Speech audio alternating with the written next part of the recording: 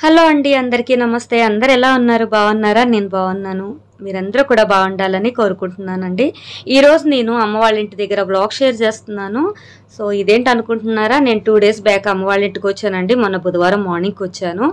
అలాగే ఇది వచ్చేసి గురువారం రోజు వ్లాగ్ షేర్ చేస్తున్నానండి. బుధవారం అయితే నేను వీడియో ఏమీ తీయలేదు. గురువారం రోజు మార్నింగ్ నుంచి నైట్ వరకు తీసిన వ్లాగ్ అయితే మీకు షేర్ చేస్తున్నాను. ఈసారి ఏంటంటే వరలక్ష్మి వ్రతం అమ్మ వాళ్ళ ఇంటి దగ్గర చేసుకోవాలని చెప్పేసి అమ్మతో అక్కతో కలిసి ముగ్గురం ఇక్కడే చేసుకోవాలని చెప్పేసి ఇక్కడికి వచ్చాను నేను. అలాగే ఒక టెన్ డేస్ ఇక్కడ చక్కగా ప్రశాంతంగా అమ్మ దగ్గర ఉండేసి వెళ్దామని చెప్పేసి వచ్చాను. ఎప్పుడు కూడా నేను సింగిల్గా నేను ఒకదాన్నే చేసుకుంటూ ఉంటాను కదా. సరే ఈసారి అయితే అందరం కలిసి చేసుకోవాలనిపించింది నాకు.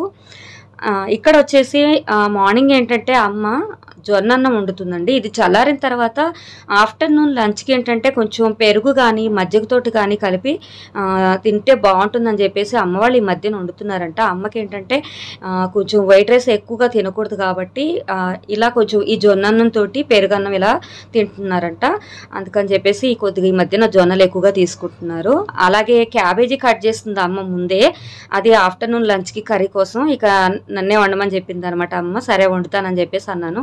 ఇక్కడైతే ముందు నేను బ్రేక్ఫాస్ట్ కోసం గుంత పొంగనాలు అయితే వేశాను. ఆల్రెడీ ఒకసారి వేశాను ఒక ట్రిప్ మనకి పన్నెండు అలా వస్తాయి కదా అవి వేసేసి వేడి చల్లారకుండా నేను ఒక చక్కగా ఒక గిన్నెలో వేసేసి థర్మాకోల్ బావుల్లో వేసేసి పెట్టానండి. అంటే థర్మాకోల్ బాక్స్లో వేసి పెడితే మనకి వేడి చల్లారకుండా ఉంటుందని చెప్పేసి ఎక్కువగా అందులో మేము రైస్ పెట్టుకుంటూ ఉంటాము. ఎప్పుడైనా మార్నింగ్ బ్రేక్ఫాస్ట్ కొంచెం లేట్ అవుతుంది కొంచెం అన్నీ వేసేసరికి అనుకుంటే మాత్రం అందులో పెట్టాను. పెట్టేస్తాం అనమాట అలాగే కిచెన్ కూడా చక్కగా నీట్గా సర్దారండి. వరలక్ష్మి వ్రతానికి పూజకి ముందు రోజు మనం హౌస్ క్లీనింగ్ అంతా చేసుకుంటాం కదా అదనమాట సో ఇక్కడ ఏంటంటే పాలు కాగపెట్టి అమ్మ మీగడ ఎక్కువ కడుతుందంట. అలా జల్లెడ వేసి పెడితే కొంచెం మీగడ అనేది బాగా కడుతుందని చెప్పేసి ఎప్పటి నుంచో అమ్మ అలా యూజ్ చేస్తారనమాట ఈ టిప్ అనేది. అలాగే ఇక్కడ వచ్చేసి పత్తి చూపిస్తుంది అమ్మ. ఇది ఇంతకుముందు పత్తి చెట్లు ఉన్నప్పుడు అదంతా కలెక్ట్ చేసేసి ఆ అమ్మ ఇలా స్టోర్ చేసింది.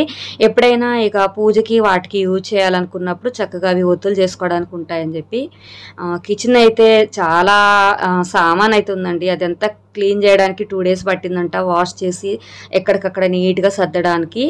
ఇక టూర్కి వెళ్ళి తీసుకెళ్ళి కూడా పైన అయితే పెట్టారు. అవన్నీ పెద్ద సామాన్ అంతా కూడా మిగతావన్నీ కూడా వాడుకునేవి సదిరారు. ఎక్కడికక్కడ నీట్గా సర్దేసింది అక్క.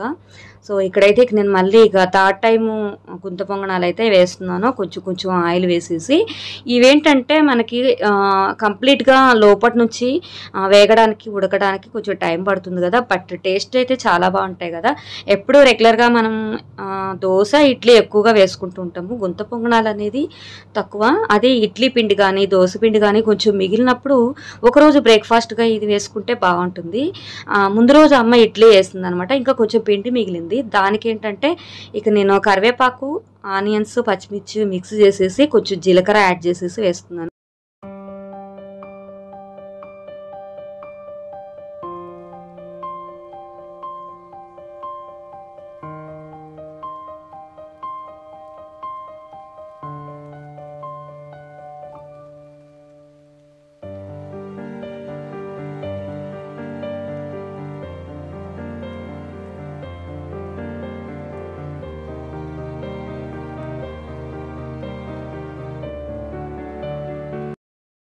కొంచెం ఒక ఫైవ్ మినిట్స్ మనం మీడియం ఫ్లేమ్లో పెట్టుకుంటే మనకి అవి చక్కగా అడుగున మంచి బ్రౌన్ కలర్ వస్తాయి కదా దాన్ని రివర్స్ టర్నింగ్ చేసుకుంటే ఇంకొక టూ త్రీ మినిట్స్లో కంప్లీట్ అయిపోతాయి. కొంచెం టైం పడుతుంది కానీ చాలా బాగుంటాయి కదా తినడానికి ఇవి.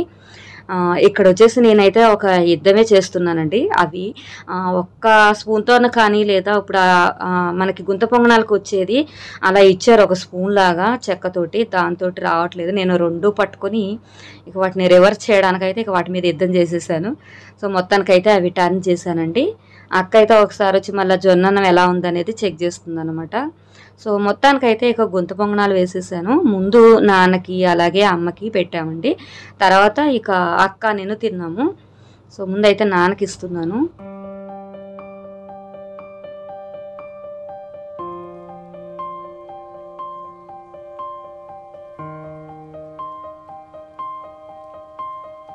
నేను వస్తున్నానని తెలిసి అమ్మ ఒక టూ డేస్ ముందే అల్లం చట్నీ టమాటా చట్నీ చేసేసి పెట్టేశారండి ఫ్రిడ్జ్లో. నాకు ఇష్టమైన పికిల్స్ అనమాట ఈ రెండు. నాకు పల్లీల చట్నీ అంత ఇష్టం ఉండదు. అల్లం చట్నీ అయితే ప్రాణం అండి. చాలా ఇష్టం నాకు. అందుకనే అమ్మ అది చేసి పెట్టేసింది. ఇక టమాటో చట్నీ అయితే అక్క చాలా బాగా చేస్తుందని చెప్తాను కదా ఎప్పుడు.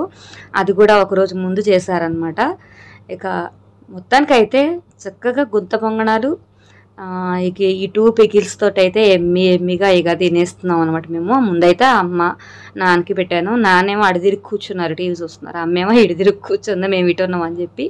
ఇక్కడ ఏంటంటే అక్క మజ్జిగ చేస్తుంది కదా వెన్న వస్తుంది. ఎప్పటికప్పుడు మజ్జిగ చేసి అది కలెక్ట్ చేసేసి ఒక గిన్నెలో అయితే స్టోర్ పెడుతుంది. ఇక్కడేమో మా మామయ్య వచ్చారు మా చిన్న మామయ్య.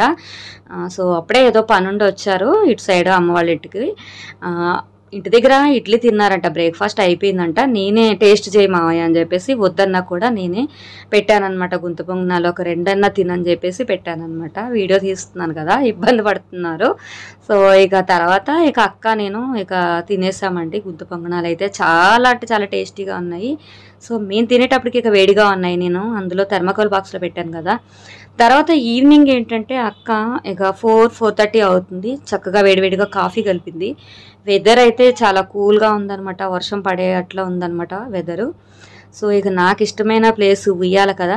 ఇక నాకు బ్రేక్ఫాస్ట్ అయినా టీ కాఫీ అయినా కూడా ఇక అక్కడే అనమాట లంచ్ అయితే నేను అక్కడ కూర్చోలేండి ఓన్లీ బ్రేక్ఫాస్ట్కి అలాగే మార్నింగ్ టీకి ఈవినింగ్ కాఫీ అయితే ఇక ఉయ్యాల్లో కూర్చొని తాగుతాను. ఇక్కడ ఏంటంటే నెక్స్ట్ డే ఇక వరలక్ష్మి వ్రతం ఉంది కదా శ్రావణ శుక్రవారం. చక్కగా చేతులకి నిండుగా గోరింటాకు పెట్టుకొని ఎర్రగా ఉన్న చేతులతో అమ్మవారికి పూజ చేస్తే బాగుంటుంది కదా. అమ్మవారికి కూడా చాలా ఇష్టం అంట గోరింటాకు చేతులతో పూజ చేస్తే. సో ఇక అమ్మ వాళ్ళ ఇంటి దగ్గర చెట్టు ఉంది. ఏంటమ్మ మొత్తం కొట్టేసారి చెట్టు అంతా అని చెప్పేసి అన్నాను. చాలా పెద్దగా ఎదిగిపోయిందంట. మండలన్నీ కూడా ఆ, గోడకు అటు సైడ్ ఇటు సైడ్ అంతా కూడా వచ్చేసాయంట. అందుకని మళ్ళీ ఎగురు పెట్టుకొస్తుంది అని చెప్పేసి ఇక పెద్ద పెద్ద కొమ్మలన్నీ నరికేశారంట. అవన్నీ పక్కకు పడేశారంట. సో ఇక ఇది ఏంటంటే కొంచెం ఎగురు పెట్టుకొచ్చింది కదా సరిపోతుందిలే ఓన్లీ హ్యాండ్స్కే కదా అందుట్లో మనం ఎక్కువగా పెట్టుకోం కదా కొంచెం చిన్న డిజైనే వేసుకుంటాము వేళ్ళకి పెట్టుకొని. మధ్యలో రౌండ్గా ఒక చిన్న అప్పచ్చిలాగా పెట్టుకుంటాం కదా. మేమేమైతే అప్పచ్చి అంటాము చిన్నప్పటి నుంచి గోరెంటాకు అయితే ఎక్కువగా ఆకు గోరెంటాకు అయితే డిజైన్ అయితే వేసుకోము. అలాగే ఇష్టం అందరికి మేము అట్టే పెట్టుకుంటాము. ఎక్కువ మంది కూడా అలాగే పెట్టుకుంటారు కదా. కానీ గోరెంటాకుతో డిజైన్ అంటే చాలా కష్టం కదా. దీంతో వేసుకోవాలంటే కూన అయితే పర్వాలేదు. సో ఎప్పుడైనా ఇక అమ్మ వాళ్ళ ఇంటికి వచ్చానంటే డెఫినెట్లీ నేను ఈ ఆకు గోరింటాకు అయితే పెట్టుకుంటాను. నేను వద్దన్నా కూడా అమ్మ అయితే ఊరుకోదు. ఎందుకంటే కోసి పెట్టండి నేను మిక్సీ పడతానని చెప్తుంది ఎక్కువగా. సో మొత్తానికైతే అక్క నేను ఇద్దరం కూడా కోస్తున్నామండి. సరిపోతుందా లేదా అనుకున్నాము. సరిపోతుందిలే అనిపించింది. ఓన్లీ హ్యాండ్స్కే కదా. గింజలు ఉన్నాయంట.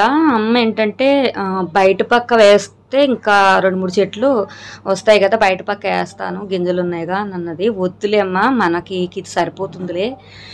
ఇంట్లో ఉంది కదా అని చెప్పేసి ఇక అదే అన్నాను అనమాట నేను. ఇక అమ్మ మిక్సీ పట్టేసిందండి. చూసారా? ఎంతో లేదు కాబట్టి ఆకు ఇంతవరకు అయ్యింది. అందుట్లో ఏంటంటే చాలా లేతగా ఉంది. సో కొంచెం జార్ అవుతుందేమో అనుకున్నాము. పర్వాలేదు పెట్టుకోవడానికి వచ్చిందనమాట ముందైతే అమ్మ అక్క పెట్టుకుంటున్నారు. తర్వాత ఇక నేను పెట్టుకుంటున్నాను. ఇక్కడ ఏంటంటే మా అమ్మ వాళ్ళ ఇంటికి ముందు ఇంట్లో ఉండే వాళ్ళు ఏంటంటే కొంచెం తెలిసిన వాళ్ళు వచ్చారనమాట వాళ్ళతో మాట్లాడుతుంది అనమాట అక్క. తను ఏదో చెప్తుంది మేమేమో నవ్వుతున్నాము. అప్పుడప్పుడు సరదాగా నవ్విస్తుంటుంది అనమాట జోకులు గట్లా వేస్తాను. సో చాలాసేపు ఉందండి. సిక్స్కి వచ్చింది సెవెన్ థర్టీ వరకు ఉంది. ఇక మేము కూడా గోరింటాకు సిక్స్ కల్లా కంప్లీట్ అయింది అమ్మ మిక్సీ పట్టి పెట్టింది. ఇక సిక్స్ నుంచి పెట్టుకోవడం స్టార్ట్ చేసాము. ఎయిట్ వరకు ఉంచుకున్నాం అనమాట eight eight thirty maximum two hours ఉంచుకున్నాము. అమ్మ అయితే వన్ అవరే ఉంచుకొని తీసేసింది. మేమిద్దరం అక్క నేనేంటంటే ఇక టూ అవర్స్ ఉంచుకున్నాము. ఎంత ఎర్రగా పడితే అంత బాగుంటాయి కదా చేతులు మంచి కలర్తో. సో ఇక తర్వాత ఎయిట్ ఎయిట్ థర్టీ వరకు ఉంచుకొని తీసేసామండి. ఇదేంటంటే ఇక తర్వాత మళ్ళీ చూపించాము పండిన తర్వాత నెక్స్ట్ డే సో ఈ విధంగా అయితే పండింది. అమ్మదైతే కొంచెం లైట్గా ఉంది. మీదే మంచి కలర్ వచ్చిందని చెబుతుంది. మరి నువ్వు ఎక్కువసేపు ఉంచుకోలేదు కదా అని చెప్పేసి అన్నాము. సో మొత్తానికైతే ఇక గోరింటాకు అయితే పెట్టుకున్నాము చక్కగా పండింది. ఇక నెక్స్ట్ డే మార్నింగ్ ఇక వరలక్ష్మి వ్రతం కదా చాలా వర్క్ ఉంటుంది కదా. సో దానికి సంబంధించి నైట్ అక్క చాలా సర్ది పెట్టింది అనమాట పూజకు సంబంధించి. సో ఇక ఇదేనండి ఈసారి బ్లాగ్ అయితే అమ్మ వాళ్ళ ఇంటి దగ్గరది. ఎలా ఉందనేది కామెంట్ చేయండి లైక్ చేయండి సబ్స్క్రైబ్ చేయండి. నెక్స్ట్ వరలక్ష్మి వ్రతం బ్లాగ్తో మీ ముందుకు వస్తాను. Bye friends